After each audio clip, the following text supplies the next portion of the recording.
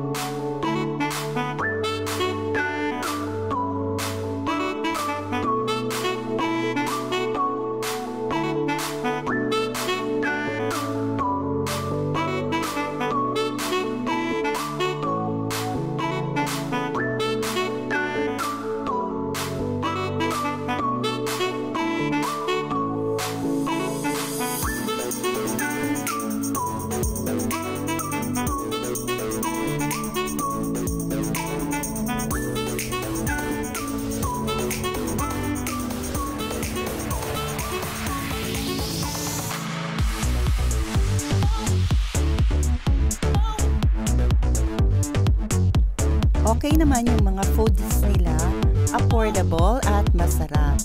Lalo na itong burger. At ganun din yung kanilang mga pika-pika.